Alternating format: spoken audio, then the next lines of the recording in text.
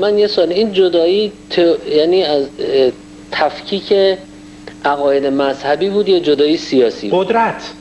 فقط مسئله قدرت بود و اینکه حتی نمی‌دونم حتما مطلع هستیم که حتی از همون ابتدای انقلاب رفسنجانی نقش بسیار حساسی داشت برای اینکه یکی یکی عناصر قدرت رو بذاره کنار و خودش قدرت بیشتری رو بگیره. به عنوان نمونه من خدمت شما بگم به عنوان نمونه قرار بر این بود که اینها یه جور وارد دولت بازرگان بشن.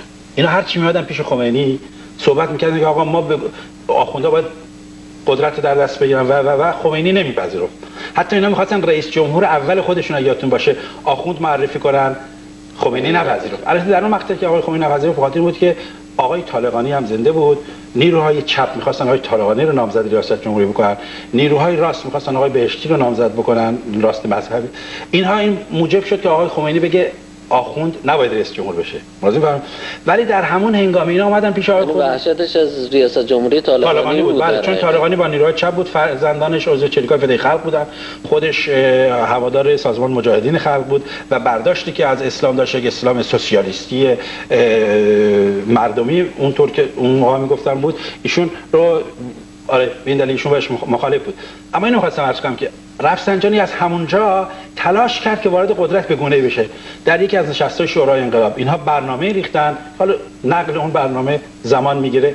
بهش کار نداریم. که خود بازرگان رو وادار کردن که بره پیش آقای خمینی و پیشنهاد بکنه که آقا برای اینکه این آخوندا چوب رای چرخ ما نذارن شما لطفا بیاین و از این آخوندا بخواین که برن تو وزارت خونه ما معاون وزیر بشن تا ببینن وزارت چقدر دردسر و مشکلات داره. حالا این طرحی بود که آقای رفسنجانی ریخته بود پیشا پیش. ملاحظه فرمایید توی یکی از نشستهای شورای انقلاب که آقای بازرگان گل... گلایه می‌کرد از روحانی رفسنجانی توسط که دیگه گفتن آقا اگر خیلی مشکل یواشکی در گوش بازرگان گفتن. گفتن اگر می‌بینی خیلی اینا مشکل بعد ایجاد می‌کنن خب اینا رو ببر تو پست بهشون بده تا بفهمن چقدر دشوار و سخت این قضیه. وقتی که خود آقای بازرگان رو قانع کردن به قضیه بازرگان رفت آقای خمینی دید موافقت کرد خمینی که در وزارتخانه ها معاونینی برن که روحانی باشن. دو تا وزارتخانه بسیار بزرگ رو دو تا یار قار انتخاب کردن. آیت الله خمینی خامنه ای شد معاون وزارت دفاع و آقای رفسنجانی معاونت وزارت کشور. از همون هنگامه بازرگان.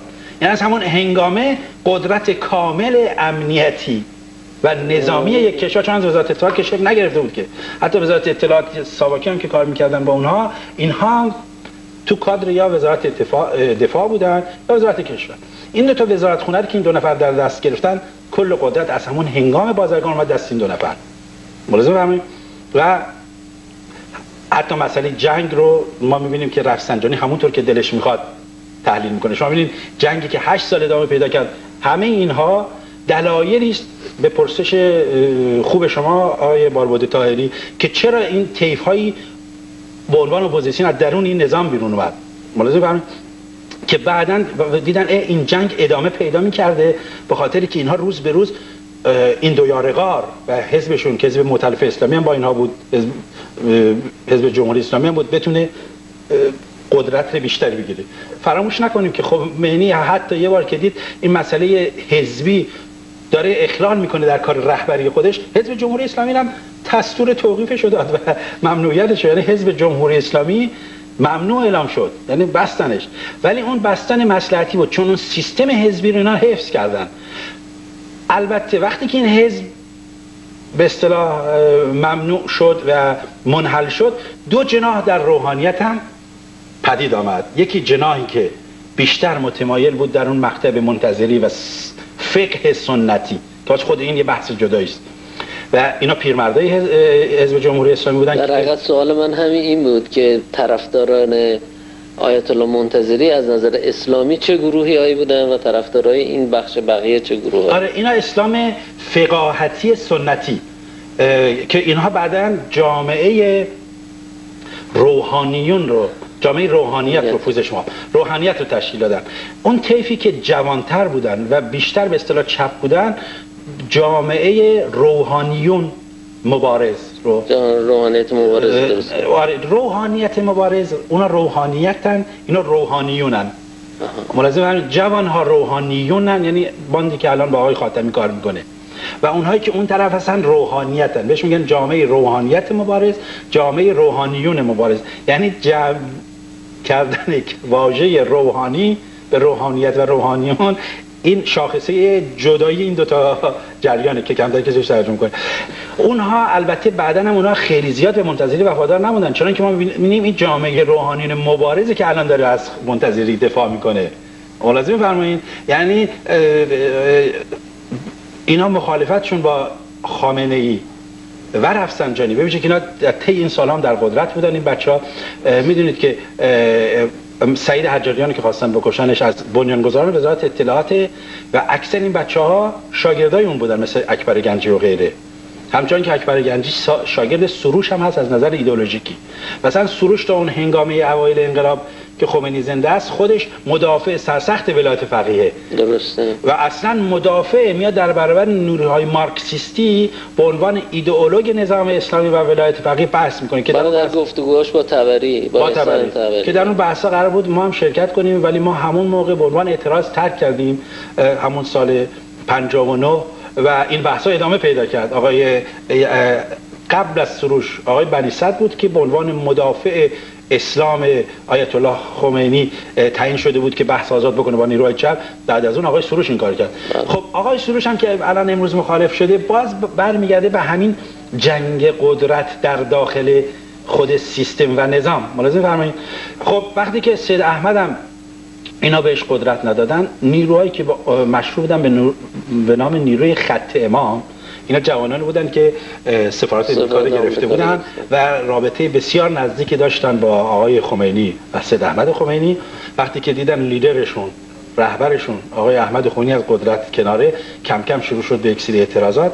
بعد در داخل ایران آقای باربود طاهری یک نفری که نقش بسیار بسیار مهمی داشت برای شکستن اون تور اختناق در داخل کشور که تونست اون تور اختناق رو بشکنه و با یک نشریه دانشجویی که در می آورد برای نخستین بار علنا به رفسنجانی و باندبازی های ایشون و خانوادش اشاره بکنه تبرزدی بود با عنوان روزنامه در میاد با عنوان پیام دانشجو که اون جریان رفیق دوست و اینها رو که به محاکمه کشید و غیره اختلاس ها و اینا برای نخستین بار اون مطرح کرد.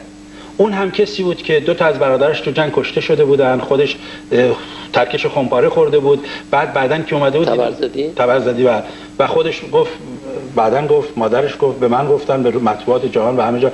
گفتم ما در رفته بودیم جبهه می جنگیدیم و قربانی می‌دادیم. می‌دیدیم آقای رفسنجانی فرزندانش رو فرستاده در بلژیک و اروپا و امریکا تحصیل بکنن و همون هنگامه ای که ما زیر خمپاره بودیم و خانواده های ما کشته می شدن دیدیم که بچه هایشون در ناز و نعمت در خارج از کشور زندگی می‌کردن به بهانه تحصیل کردن.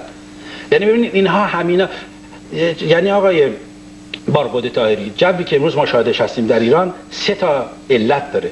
یکی همین مسائل روانی داخل سیستم یکی معادلات خارجی جهان که حاکم هست و یکی مسئله خود رژیم و نجات خود رژیم. یعنی این سه, سه, سه دلیل داره که همش هم موجهه و موجوده. ملازم فرمایید. یعنی شما باید اول زمینه داخلی رو داشته باشی که نیروها چگونه آزاد شدن. یعنی از کندن از قدرت به اصطلاح. دوم اینکه عرض کنم خدمتتون زمین های توده ای مردم که این رو می‌خواست و بعد از اون طرف جو جهانی که اینا صدا می‌کرد. جو جهانی چشم براه این بود که پس از اینکه جنگ ایران و عراق تموم شده همه کشور ویران شده بتونن بازگردن به عنوان سازندگی کشور کمپانی های خارجی نفت ایران رو بخرن نفت ایران رو بخرن و در ازای اون خدمت کنن کار کنن سازندگی بکنن. لطفا برای بهتر دیده شدن کانال ویدیو رو like کنید کانال رو subscribe کنید و علامت زنگوله رو هم بزنید تا از آپلود جدیدترین ویدیوها با خبر بشید. از همراهی و حمایت شما سپاس گذاریم